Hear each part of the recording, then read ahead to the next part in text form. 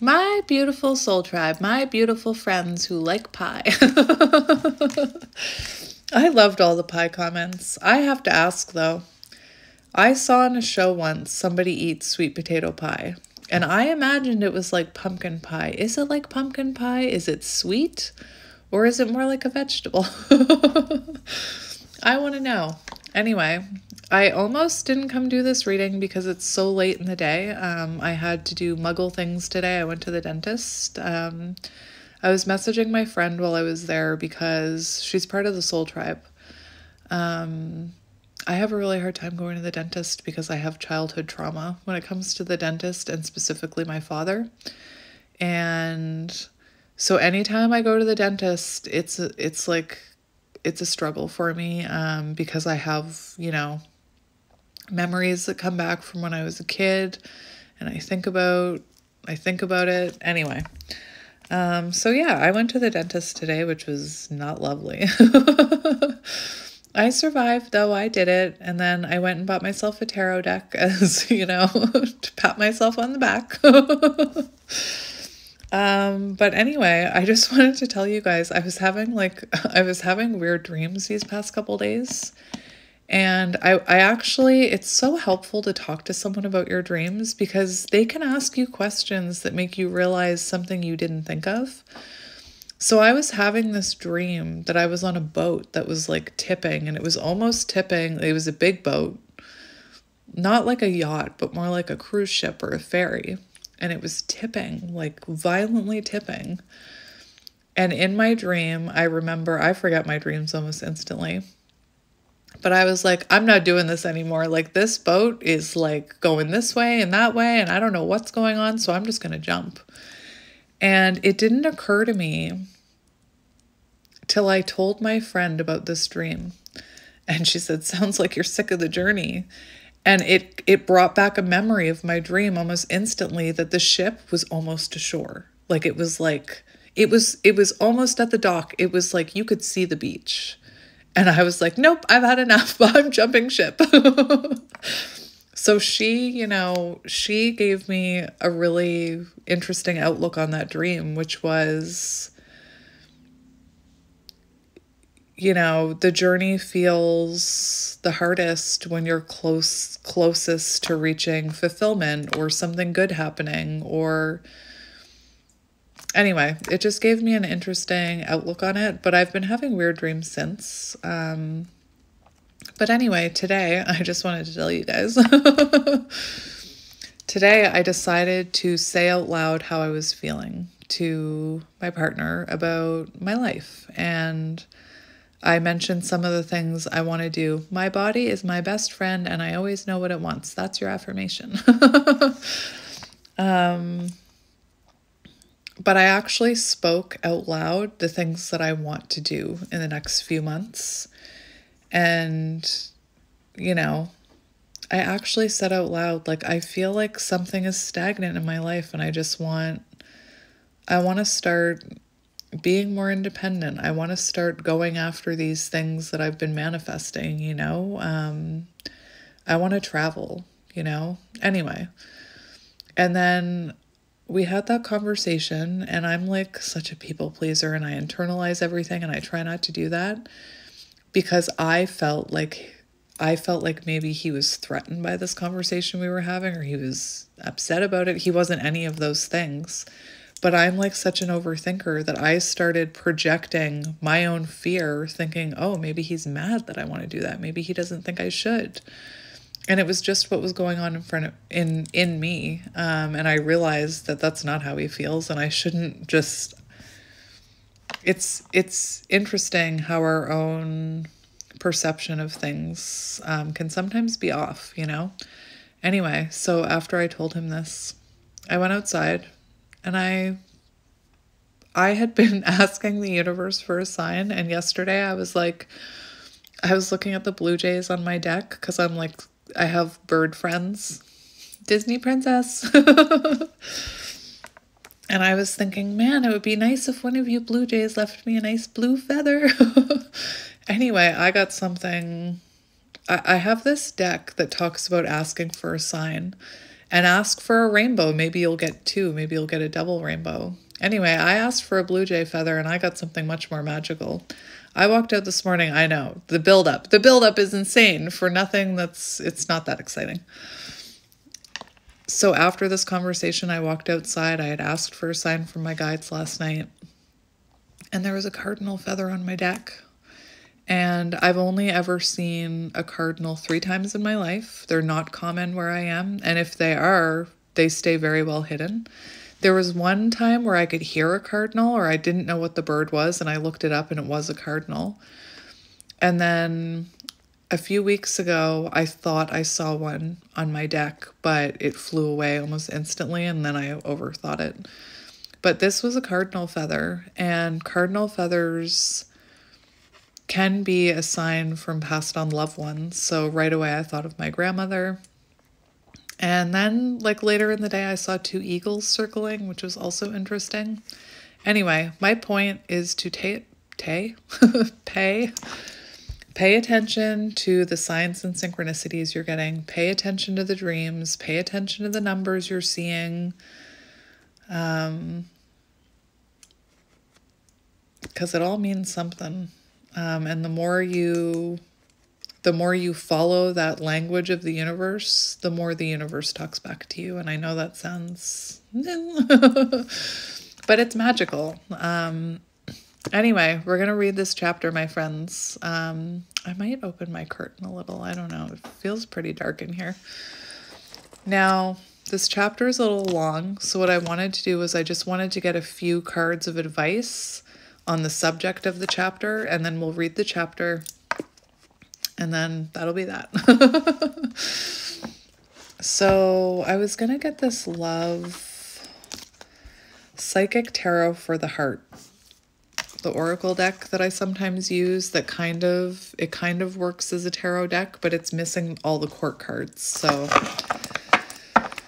but we're going to ask the question how to Get Over Someone, the ultimate guide to releasing attachments, reinventing yourself, and opening your life to new love.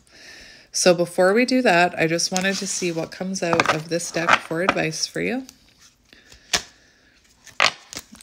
And then we'll read that chapter. I hope you guys had a lovely weekend. I did take the day off yesterday.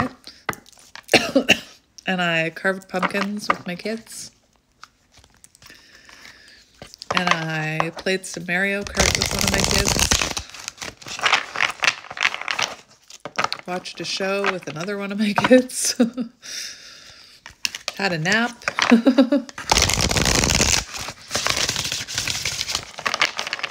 so let's see what you need to hear today, my soul tribe, for this one. We have Emperor energy on the bottom. Interesting. So, what do you need to hear about releasing attachments and moving forward and reinventing yourself? We have change your focus. Okay. I'm just going to get one more. I don't know why. And we have dreams coming true and we have blossom. So, blossom is judgment energy. And I believe this is pentacles. But let me just look at this. Nope, it's nope, nope, nope, nope. It's emotions. So we have Five of Cups, change your focus. And we have Nine of Cups, dreams coming true. And we have Blossom, which is judgment energy. And judgment can be about releasing. So change your focus. Disappointment, loss, shift, appreciate. Some disappointment and sadness are inevitable. How you deal with it determines the quality of your life. It may be that you've recently experienced a loss, perhaps the end of a friendship or a failed romance. Maybe your family isn't providing the support you need, or you regret the decisions you've made. Any number of situations can cause unhappiness. When relationships don't turn out the way you expected, it's natural to feel upset and hurt. However, it's not healthy to remain in that state I just wanted to make sure that wasn't an affirmation for too long. When this card appears, it's time to put those sorrows behind you and shift your focus to what is good and positive in your life. Appreciate the people who love you and your ability to give love to others. Take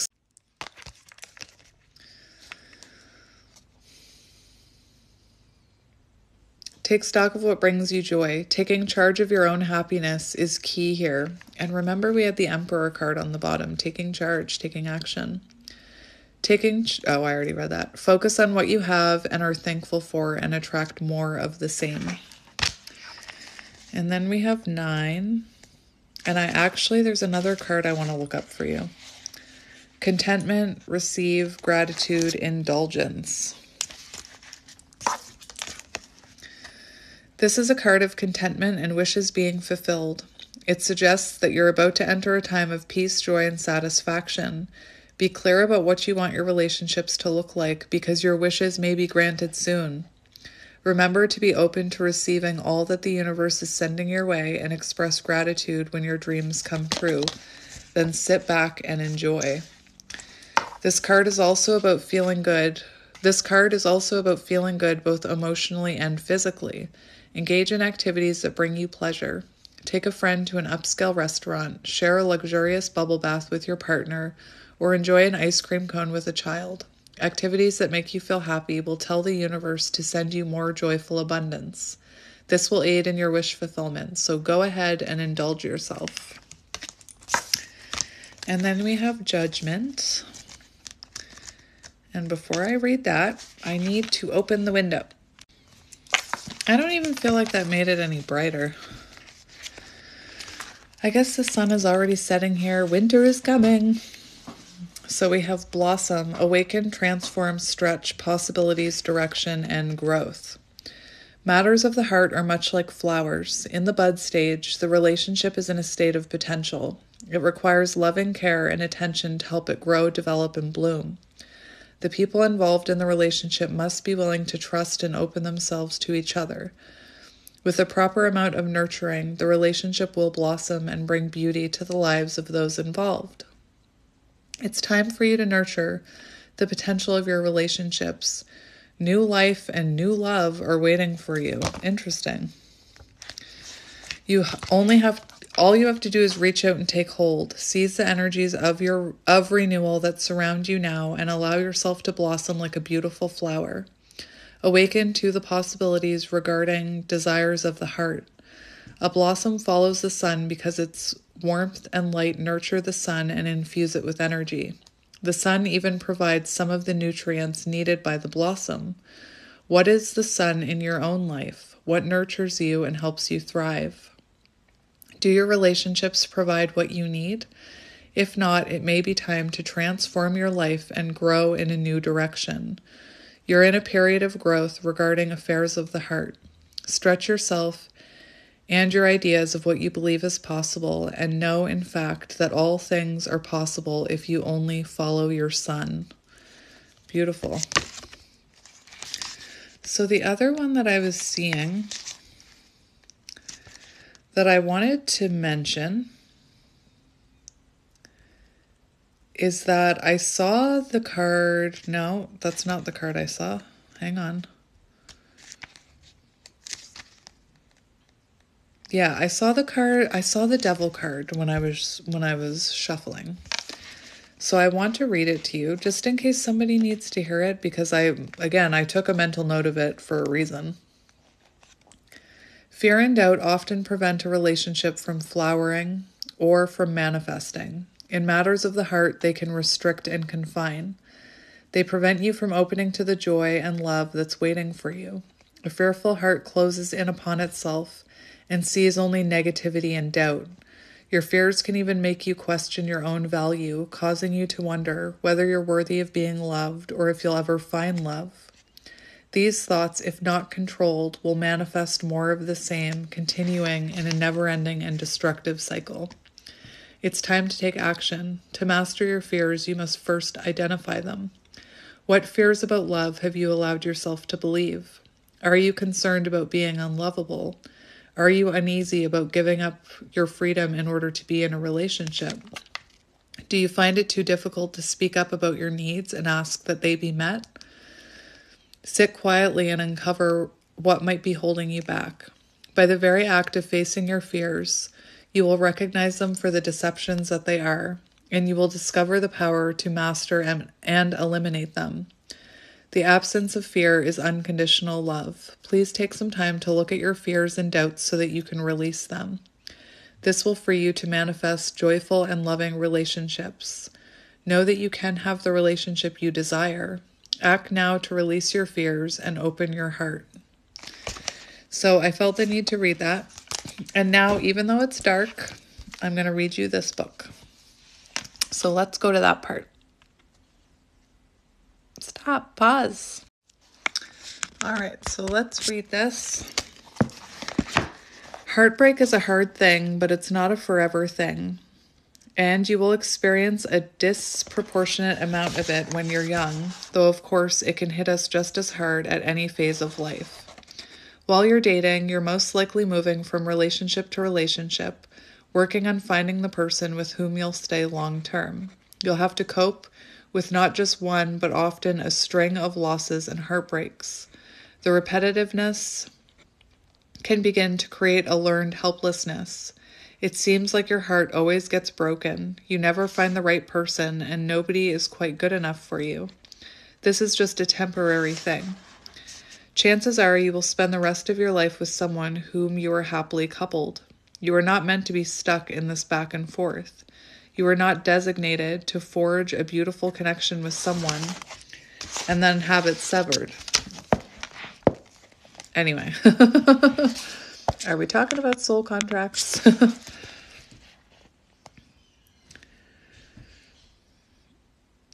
you are not supposed to build foundations and then have someone crack them in half. This is why it feels so wrong, so foreign, foreign and so awful. This is not how you're supposed to experience life, and it won't be how you experience life for the majority of your life. Right now, the pain is making you feel like just because someone will be out of your life forever, that the hurt will last forever too. But all you can see is what you've lost. You have yet to see what you're going to gain. What is there to learn from heartbreak? As it turns out, a lot.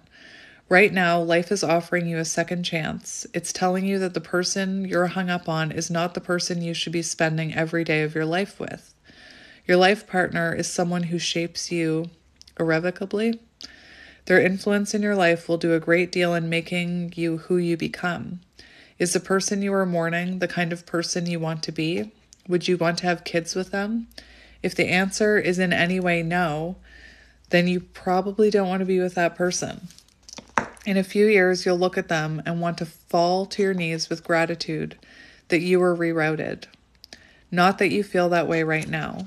Right now, you are so focused on what you think you have lost that you're not realizing the fertile ground that is right in front of you.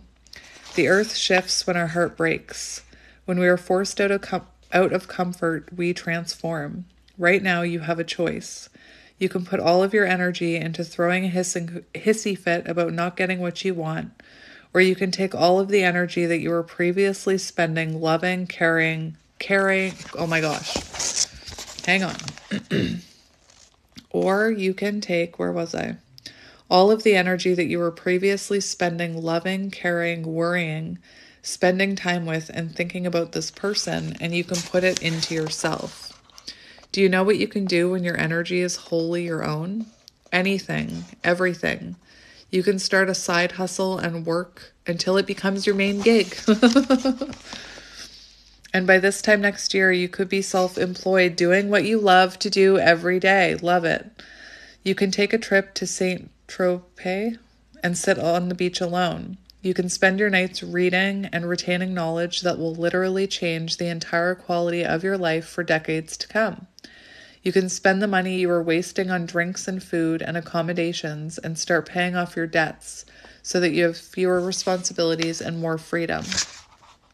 You can become exactly who you want to be and are meant to be. You have the rest of your life to be in love. You have right now to change yourself.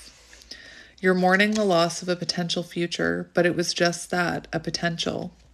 It is normal and healthy to grieve the loss of someone with whom you have a deep or intimate relationship.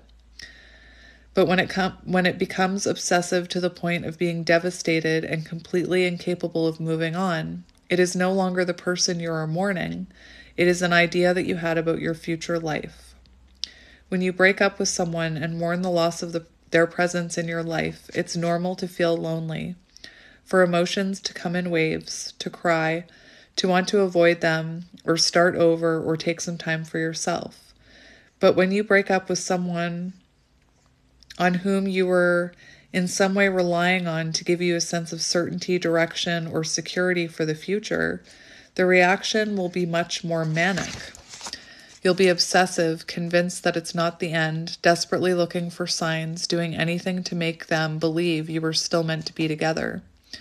That kind of reaction, can I just say, like, some of this stuff goes against what I believe in, so I'm having a hard time because some of the things about soul connections that I know, um, it's not that it's just different, you know? Um, anyway, but if you are to the point of obsessing. I always say this in my love readings like, if you feel like you can't live without this person, then that shows you need to work on yourself and your own self love because you should be okay on your own with or without a soul tie. Anyway, I just wanted to say that. I felt the need to say it. Anyway, the kind of reaction. That kind of reaction is not the reaction of someone who has loved and lost a person they care about. That is the kind of reaction of someone who has lost a feeling of safety about the future and will go to any length to get it back, even if just believing in their minds that it's not over. In that, you are giving yourself that feeling again. Here's a litmus test for you. What was going on in your life when you first got together with that person? Before you were in this relationship, did you know where your life was going? Were you confident in who you were, what you wanted, and how you were planning to proceed with the next few years of your life? Were you at all worried, stressed, or anxious that you hadn't found the relationship by the right time, or that you'd hit some milestone and be alone? Were you feeling lost in your career, stressed out about money, or tense about your family? The circumstances that existed when the relationship began can tell you much about the relationship itself. This is why people preach from the gospel of love yourself first. That's what I was just talking about. So often, when two people are happy, well adjusted, and pursuing their own individual goals get together, the relationship lasts. When two people who need self work get together, they use one another as a band aid. And then it falls apart because ultimately they realize another person is not the solution. And that's why I talk so much about healing yourself. If you are anxious about the future, you need to be the one to make the plan. If you want, if you feel unsure about what you want, you need to sit down and brainstorm until you come up with ideas. If you don't know who you are, you need to do some soul searching. If you feel unfulfilled, you need to work somewhere new. If you feel stressed, you need to manage your time, money, or relationships better. This is what you needed to do then, and this is what you are getting a chance to do now. You're not going to forget about this person. You're going to have to get distracted. Forgetting about someone is impossible. The more you try not to think about them, the more you will. Carrying on with your days like nothing has changed is not what's going is not what it's is not what it's going to take to move on with your life. The normal that you once knew is gone. If you keep trying to live as though this person is still around, you will be orbiting around empty spaces. It will be impossible not to think of them and mourn for them constantly. You will sit in the room you used to sit in together and cry. You'll visit the same store you used to shop together in and feel defeated. You'll see friends you used to hang out with and sense embarrassment in a very public because in a very public way you failed. You need to get up, you need to start over, and you need to begin anew. You need new places, people, and routines. You need new adventures and goals and plans. This is how you get over anything. To fill your life with so many powerful, world altering things that slowly, over time, you begin to think about them less and less. Not because you're trying to, but because you have so many other things to think about now. You have so many places to go, things to hope for, and passions to keep your mind consumed. As time goes on, You'll think about that person less and less and less, not because you magically stopped caring about them, but because you started filling your life with things you cared about more. That right there is the magic of heartbreak. It forces you to be a different person. Unless you want to mourn forever, you have to change. And if you do it right, you'll work on becoming the person you always wanted to be. You'll look back on this moment as the pinnacle, the turning point, the unanswered prayer that was the answer itself. It will be the greatest thing that ever happened to you because instead of a lukewarm relationship that wasn't working anyway, you got the life of your dreams and you were the one who gave it. We're going to keep reading. How do you know when someone is actually right for you? The tricky things about relationships is they almost always never end with certainty. It's not obvious that you should or shouldn't be with this person. For every issue that you have, you could list off all of their redeeming qualities. For every argument, you could rattle off all the great times you had together, all the signs and signals and ways you're positive that you're meant to be. The opposite of knowing someone is right for you isn't being sure someone is wrong for you. The opposite of knowing someone is right for you is being overwhelmingly uncertain. When someone is clearly and overwhelmingly wrong for you, the relationship won't get that far. You won't be able to develop and foster any kind of significant connection. You'd realize that you are fundamentally incompatible long before you could form any kind of attachment. This is not how heartbreak happens. This is not the product of being mismatched with someone who is fundamentally wrong. It is being matched with someone who, in many ways, could be right but raises many doubts. Realizing that someone is wrong for you happens in tiny, tiny gestures. It is not posting a lot of photos online because somewhere deep down you know the relationship isn't going to last. It's avoiding introducing them to your parents because you know they aren't going to react as well as you'd hope. It's thinking to yourself in quiet moments, but what if there's something else? It's daydreaming about the possibilities that life could hold if you weren't with that person. It's going back and forth wondering if this person you could spend your life if this is a person you could spend your life with rather than just being in the moment each day and actually spending your life with them. Heartbreak doesn't happen with the people who are wholly wrong for you. You aren't able to get close enough to let it hurt. It happens with the people who are just right enough to make you hope, but just wrong enough to prevent you from getting closer or making it official. That's why you don't have to watch out for the people you reject. You, as much as you do the people who leave you hanging, the people who keep wanting to see you without making a commitment, the people who say it's just not the right time, or that they aren't looking for anything serious. The truth is, is that nobody is looking for anything serious until someone comes along who they seriously love. It is never the right time until it is the right person. The opposite of just knowing someone is right for you isn't just knowing they are wrong for you, it's doubt. Being uncertain means you know the answer, you are just too attached to admit it. How do you let go when you can't stop thinking about someone? In the wake of your breakup, everyone around you is going to be counseling you to just let go of the past, move on, and start anew. They'll tell you to go out drinking, start dating, and revel in your newfound freedom. This will be annoying at best and absolutely absolutely maddening at worst. There's nothing more frustrating than someone who seems to believe that a shot of tequila and a random Saturday hookup will be a salve, is that how you say it, salve? For the life shattering heartbreak you're experiencing right now. The future you thought it would be has changed. The present, as you're used to, has too. You do not need any more uncertainties right now. You do not need to try and force yourself into a new life when you're already panicked about what's going to happen next.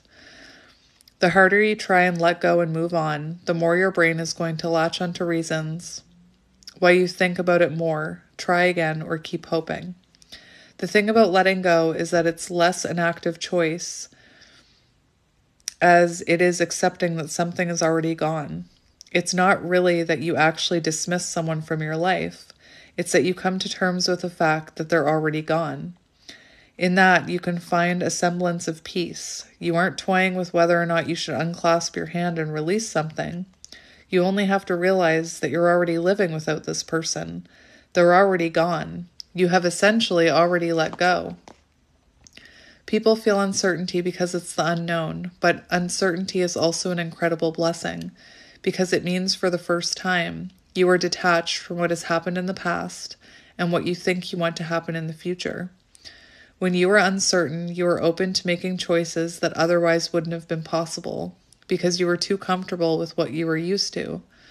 Uncertainty is a breeding ground for life's great moments and most epic possibilities.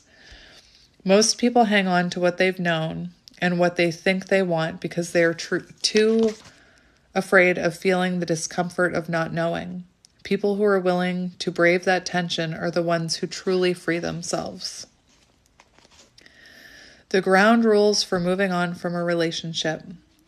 When you're hurt and uncomfortable and def- and desperately wanting to retrace your your steps, figure out what went wrong, or even try and mend things again, you're going to be in a place where you're not thinking clearly.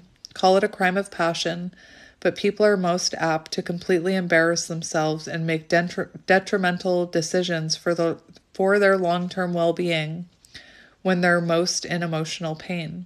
That's why if you're going through a split, you should follow these guidelines.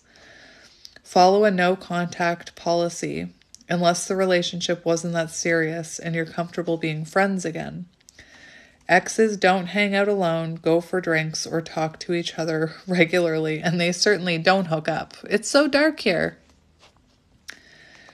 Find a trustworthy friend with whom you can vent and do so privately. Number three, if you can't help but feel the urge to check in on them, to view their photos, or see what they're doing online, unfriend them or block them. If you feel bad for doing that, explain kindly that it's a step for you to gain closure and to help you to move on, and that you wish them well. Number four, switch up your routine. You cannot hang out with the same people, visit the same places, or otherwise continue, continue to circle in orbit around them and not expect to miss them every minute of the day. When you go through a breakup, your whole life changes. That's the magic of it. Five, don't do anything permanent. Don't do anything you cannot undo in a matter of days. Six, consider casually dating again. After you've taken some time for yourself, consider getting back in the game. No, it's not fair to enter a new relationship hung up on someone else. But if you are never really going to forget your old, but if you are never really going to forget your old relationship until you have a new one to take its place and remind you that everything happens for a reason. I have to say, some of these things I don't. I agree with a lot of it, but there's some of them that I myself don't agree with, and that's just how I am. Anyway, seven, write down everything you wanted and needed this person to be for you. Most likely, you're scared because without them, your future could be lonely, financially harder, or you might just feel like a total screw up.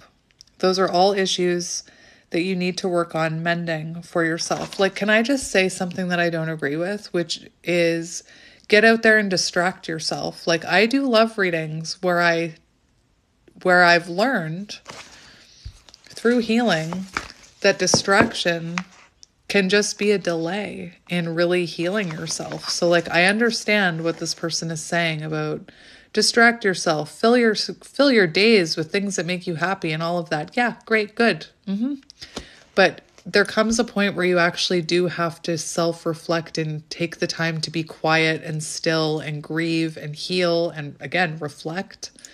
Um, you know, some of the stuff that this is saying I'm just going to be honest with you guys.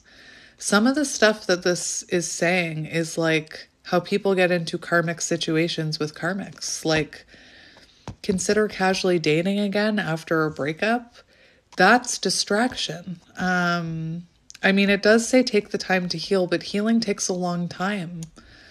And again, I'm not telling you that you have to agree or disagree with any of this, but I I I'm sitting here reading these and part of me for some of them is like my intuition is like no i don't like i see the person's point but i also don't agree with i i don't necessarily agree with all of it um I agree with a lot of it. I will say I agree with a lot of it, but some of the things, um, yeah, distractions are good, but you can distract yourself right into being oblivious about the things you need to work on.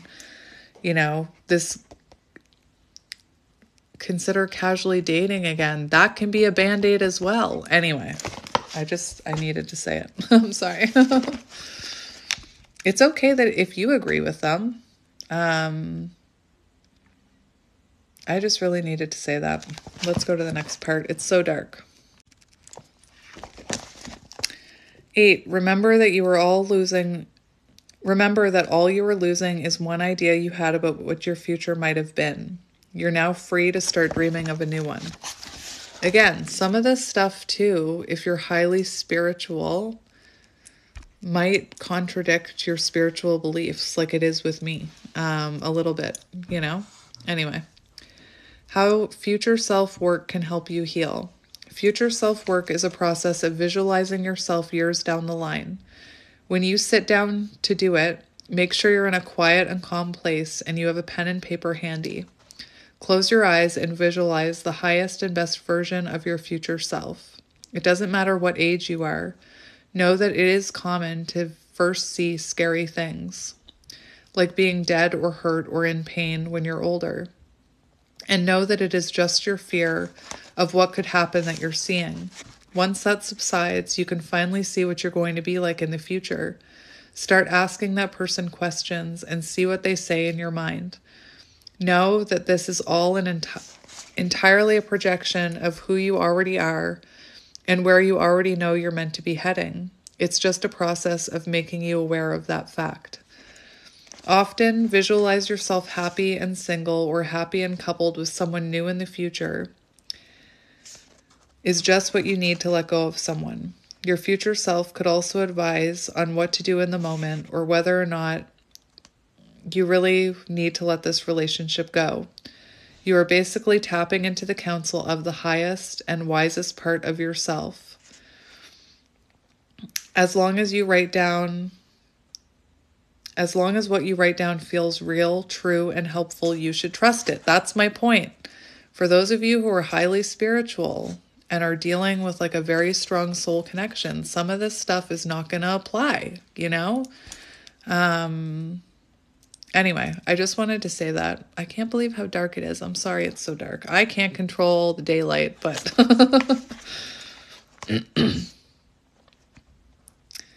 anyway, maybe do you, do you guys know how listen, I've been so hesitant to read this chapter and I didn't know why. And I think it's because I knew that I might not spiritually align with some of the things in this chapter. I didn't reread it first.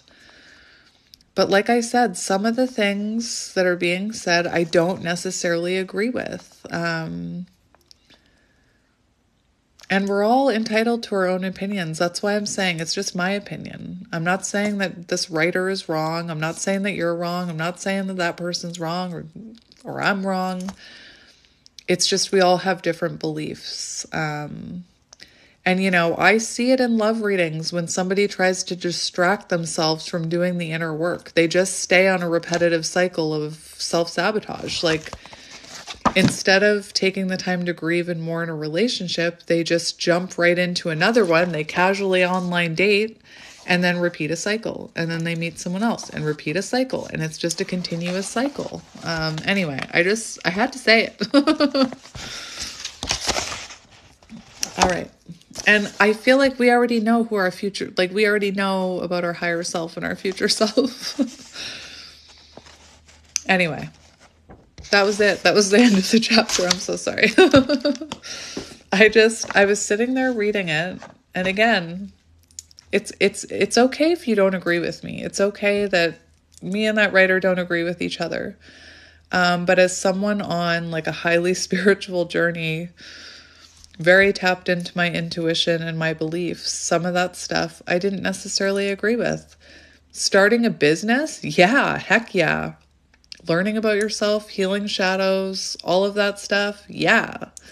But the distraction part and a few other parts, um, Anyway, That's all I'll say about that.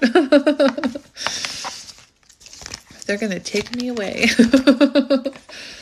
anyway, I just wanted to mention that because, like I said, as I was reading it, I was wondering why, for the past few days, I've been in avoidance about that chapter. And it's like my higher self, my future self knew there's going to be a few things in there you don't necessarily agree with. And again, that's fine if you believe in those things.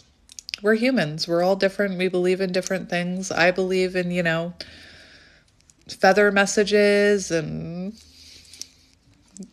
eagles and things like that. Not everybody does, and that's okay. I believe in soul connections. I believe in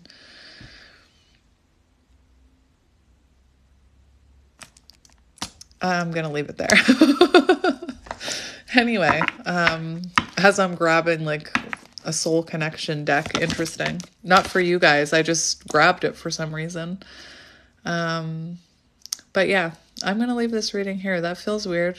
It feels a little unsettled. But again, we don't all have to believe in the same thing. And that's, in my opinion, that's one of the things, that's one of the skills I've developed since awakening is everybody is on their own journey. We all believe in different things. Just because you believe in one thing and I believe in another doesn't mean your thing is right and my thing is wrong, or vice versa. Um, I used to be someone, I told you, who was very judgmental about religious people. Even when I started doing this, and I would get decks that would talk about like God and things, I'd be like, I'd feel weird about it. But now i know that we all have our own beliefs. Like i, I just, i'm not going to keep saying it. I'm not going to keep repeating myself but i just i couldn't i couldn't sit there and not say how i was feeling about some of those things it's just who i am it's my queen of swords my my authenticity came roaring out anyway um so yeah i'm going to leave it here because that's all I have for you today. And it's dark, so you can't even see me or the cards. But I will be here tomorrow with another reading when I have more time. And let's look at the next chapter. I felt kind of like that was, it was weird how I kept wondering why I was feeling such a block there. So the next chapter is If you ever feel lost, please remember you can make it home within your own heart. So there you go. So I'm going to go, my friends. I hope you have a wonderful night. Feel free to tell me what you're doing, how you're feeling. I'm sending you guys lots of love and light as always, and I will talk to you guys soon. Bye.